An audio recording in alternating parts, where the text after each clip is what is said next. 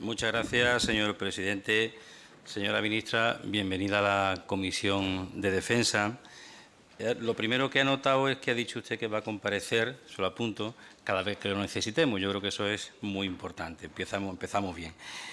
He tenido la ocasión estos días de escuchar, de leer algunas entrevistas que le han hecho, algunas declaraciones, y la verdad que coincido o me gustan, por decirlo de alguna manera, pues muchas de las cosas que comparto, compartí muchas de las cosas que, que usted ha dicho. Ahora tenemos que ponerlo a la práctica, una cosa es decirlo y ahora después nos tenemos que poner a, trabajar. Habla usted, incluso ha repetido ahora, del estado de los cuarteles, cuando usted fue a la, su visita del Goloso, habla usted de incentivar la participación de la mujer en el ejército, eh, frente a la tolerancia cero en, el acoso, eh, incluso de la, libertad religiosa, el carácter confesional de nuestro país, el ejemplo de la bandera en Semana Santa, en fin, tampoco le veo yo a usted cantando el novio de la muerte, ni, mucho menos, ¿no? Eh, señora ministra, yo le deseo con total eh, honestidad que tenga mucho éxito, porque será el éxito también para este país, para todos los ciudadanos de este país, y le deseo también y le pido además que, esté a la altura de las circunstancias las Fuerzas Armadas, al mismo nivel que trabajan nuestras Fuerzas Armadas, es decir, al máximo eh, nivel. Soplan vientos de cambio, se ha demostrado hace unas semanas, que los números daban y yo creo que tenemos que aprovechar esos números para poner en marcha todas esas iniciativas que necesita el Ministerio de Defensa. Eh, tenemos que, lo que nos resta del año 2018, ponernos a trabajar porque, en fin, además he, podido leer que ha creado usted un, grupo, un equipo de militares para que le asesoren, para que le pongan al día y estoy seguro que le habrán eh, comentado que esta legislatura lo que queda es importante porque hay cuestiones eh, cruciales y tenemos que aprovechar ese tiempo, incluso redoblar, redoblar el, tiempo para poner todos esos esfuerzos para llevar todas estas cuestiones a cabo, porque en, eh, iba a decir la legislatura anterior, en el periodo anterior, pues bueno, la verdad es que se ha hecho más bien poco, incluso más bien poco, ¿no? Eh, yo voy a tratar dos temas, es decir, usted ha hablado de muchas cuestiones, me parece muy ilustrativo y además le felicito porque haya tratado un capítulo, además amplio, sobre materia de personal, lo echaban falta, lo ha, lo ha dedicado bastante, bastante amplio. Yo le voy a hablar de dos temas, porque nosotros sí tenemos el tiempo acotado, a pesar de que el presidente siempre es muy generoso, o por lo menos antes, no sé si ahora que está gobernando el PSOE será igual de generoso. Eh, estoy seguro de que sí. Le voy a, le voy a tomar, eh, le voy a comentar dos temas que para nosotros nos parecen importantes y urgentes. El primero, que ya usted lo ha, lo ha nombrado, es el, la situación de los militares que con 45 años se van a la calle con una mano delante y con una mano detrás, que es lo que está pasando ahora. Bien, es cierto que en la ley esto venía contemplada, pero también es cierto que la ley no ha funcionado y como consecuencia de que la ley no ha funcionado, ahora nos, encontramos con esos profesionales, más de 60.000 militares estarán afectados y su familia, lógicamente, y lo que no puede hacer un gobierno, no, puede hacer un, país con estos militares, con estos trabajadores que han dado tanto por su país, pues dejarlo ahora en la, en la cuneta. Y además les quiero recordar que hace poco tiempo en esta misma sala, además fue en esta misma sala, se aprobó una proposición no de ley de Unidos Podemos, que además después se, fin, fue apoyada tanto por Ciudadanos como por el Partido Socialista, una moratoria para paralizar esas expulsiones, por decirlo de alguna manera, de estos militares de 45 años, hasta en tanto se sepa ese dictamen de la Subcomisión de Tropa y Marinería para dar una respuesta a estos profesionales.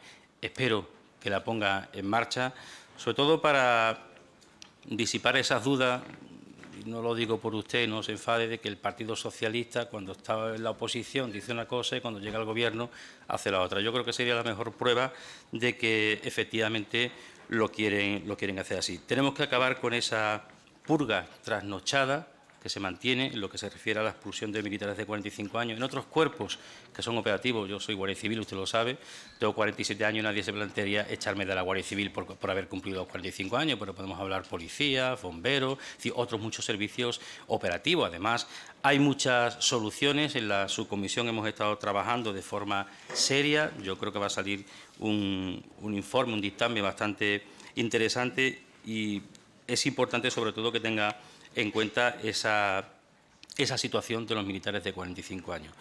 Por otro lado, eh, le quiero hablar, la otra cuestión de la que quería hablar son la de los, los PEAs. Yo le he escuchado hablar a usted de la transparencia, de la opacidad. El Tribunal de Cuentas ha dicho en varias ocasiones que el Ministerio de Defensa es el más opaco. Eso lo, puede mirar usted en los informes del Tribunal de Cuentas. El más opaco de todos los ministerios. Eso tiene que acabar.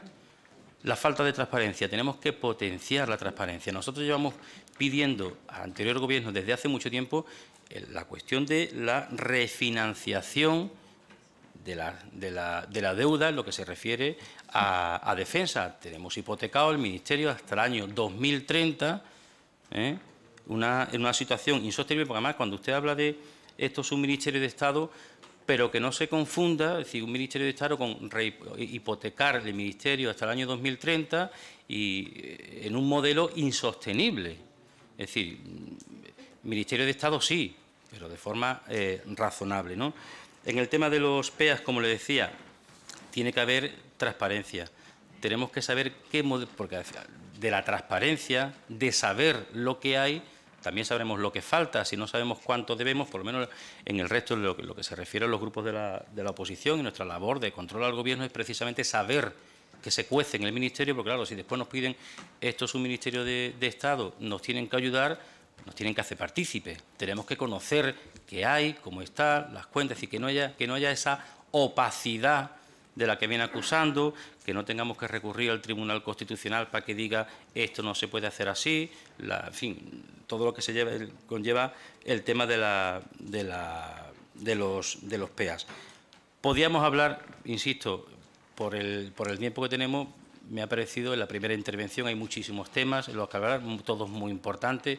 Política personal, le vuelvo a felicitar porque le ha dedicado un capítulo completo, extenso, con cuestiones que la mayoría nosotros eh, apoyamos, pero que queremos ver que se empieza a trabajar en todas ellas. Podríamos hablar de las asociaciones profesionales, usted la ha felicitado, pero no tiene que quedar ahí, hay que potenciar, porque el trabajo de las asociaciones es muy importante y no puede ser que a, día de hoy por ejemplo, las asociaciones de la Guardia Civil y los sindicatos de la policía tengan subvenciones, eh, subvenciones y las asociaciones no tengan ni subvenciones, ni sedes sociales, ni se les ayude, sino más bien todo lo contrario. Hemos asistido, hasta hace muy poco, hemos asistido a la persecución por parte del Partido Popular, ya que está hablando, pues por parte del Partido Popular a, representantes de las eh, asociaciones. Por tanto, darles espacio a las asociaciones. Me gustaría que usted tuviese un cauce directo con las asociaciones. Al, margen, yo sé que existe el, el como el Guardia Civil, Consejo de la Guardia Civil, pero que usted tenga una interlocución directa con las asociaciones de la, de, la Fuerza Armada. No se asuste, no pasa nada. Yo sé que usted no se asusta, lo sé, ¿no? pero quiero decir que normalicemos porque eso también es modernizar y democratizar a las Fuerzas Armadas, escuchar a la gente que representa a los trabajadores, a los hombres y a las mujeres de las Fuerzas Armadas. Como le digo, tenemos que hablar también de las retribuciones. Un marinero cobra unos 900 euros. Eso sí está embarcado, si no incluso hasta menos, ¿no? Es decir, pues también tenemos que hablar de, de, las retribuciones, de todas las condiciones sociolaborales, que no se nos olvide que modernizar y contar con las Fuerzas Armadas es también mejorar las condiciones sociolaborales de todos los eh, trabajadores. La digitalización y la, revolución 4.0 tenemos que avanzar, tenemos que potenciar, no nos podemos quedar por detrás. Es decir, insisto, hay muchos eh, temas que tenemos, el tema de las, del observatorio de la vida militar, la justicia militar, es decir, las infraestructuras, hay muchísimos temas, pero yo creo que el primer tema, nosotros desde Unidos Podemos que entendíamos que tenía que ser eh, la situación de los militares de 45 años, le he escuchado. Eh, habla usted un poco en futuro, vamos a hacer, pero es que ya está pasando. Es decir, es que ya hay gente que ha ido a la calle y, hay que buscar una solución. porque los culpables no son ellos de, los que de, los que, de que la ley no haya funcionado. Cuando una ley no funciona es que el Gobierno no ha puesto en marcha todos los recursos necesarios para que esa ley eh, funcionara. Y ahora nos encontramos con militares que están en la calle y hay que darle una solución. Mm, habrá que ingeniarse de la forma que sea, pero no los podemos dejar tirados. Y por otro lado, por el tema de la transparencia y la opacidad, que no es un tema menor, que es un tema muy importante. Ya hablaremos otro día de operaciones en el exterior, de la política europea de defensa, de muchísimas cuestiones más que seguramente tendremos tiempo. Nada más y muchas gracias.